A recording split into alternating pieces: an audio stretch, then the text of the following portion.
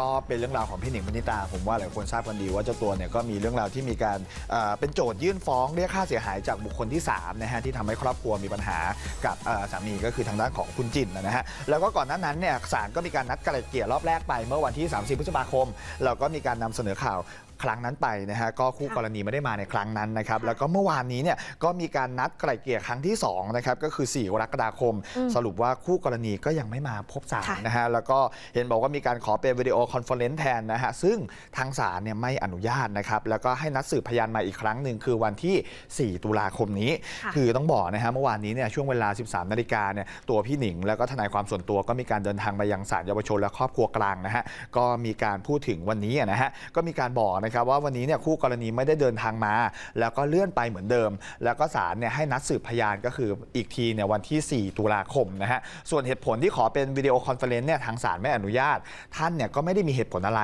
แล้วก็ต้องการให้มาพูดคุยกันมากกว่าค่ะทีนี้นะฮะคือพี่หนิงแกก็บอกนะฮะถึงความต้องการของแกแกบอกว่าแกเนี่ยจริง ๆ แล้วเรามีธงอยู่แล้วที่จะฟ้องร้องค่าเสียหายเท่าไหร่ เวลาผ่านไปตนก็รู้นะฮะว่าอยากให้มันจบๆไป แต่ว่าทุกอย่างเนี่ยมันจะจบ จบจบๆไปได้เนี่ยมันก็จะมีอะไรบางอย่างกลับมาทำให้ธงเดิมเป็นเหมือนเดิมค่ะเจ้าตัวมีการพูดคุยแบบนี้นะฮะแล้วก็เรื่องราวทั้งหมดการหย่าหรือการเป็นยังไงตอนนี้เดี๋ยวไปฟังพร้อมกันครับ อย่างวันนี้เนี่ยทางเขาไม่มาเนี่ยเขาก็คงมอบหมายบางอย่างให้ทนายเขามาเจรจา ซึ่งสิ่งที่เจรจากันมามันก็ถ้าทุกคนรู้ก็คงรู้สึกว่าหืมหนิงเองหนิงนั่งอยู่หนิงก็หื มแล้วหนิงก็กลับไปที่ธงเดิมของหนิงมันก็เป็นธงที่สมเหตุสมผลกับสิ่งที่เขาคือส่วนหนึ่งที่ทำให้หนิงต้องสูญเสียครอบครัวค่ะ มันผิดพลาดกันได้ทุกคน หนิงเองหนิงก็ไม่ใช่คนไม่เคยผิด เราต้องแก้ไขสิ่งเหล่านี้ด้วยความจริงใจและยอมรับความผิดจริง ๆ ในส่วนของประเด็นครอบครัว หนิงพยายามทำทุกอย่าง ในหน้าที่ของการเป็นพ่อ ทั้งเป็นทั้งพ่อนะ แล้วก็เป็นทั้งแม่ของน้องนิลินให้ดีที่สุดในวันนี้ ไม่ว่าหนิงจะตัดสินใจทำอะไรก็แล้วแต่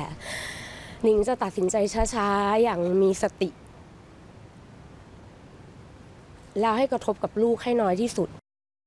ปรากฏว่ากลางดึกก็เกิดเหตุการณ์ที่โอ้โหหลายคนให้ความสนใจมากๆนะฮะอืมก็คือโซเชียลแตกเลยค่ะเพราะว่าคือตัวพี่หนิงเองเนี่ยมีการโพสต์ Facebook นะฮะชี้แจงกลางดึกที่ผ่านมาเลย คือมีสื่อเนี่ยนำรูปของหลานสาวที่เคยถ่ายภาพกับคุณจินเอาไว้ค่ะก็กลัวว่าหลายคนอาจจะแบบเข้าใจผิดค่ะเข้าใจว่าหลานสาวเนี่ยเป็นบุคคลที่สามค่ะพี่หนิงก็มีการอธิบายถึงเรื่องนี้นะฮะก่อนที่จะเชือดนิ่มๆชี้เป้า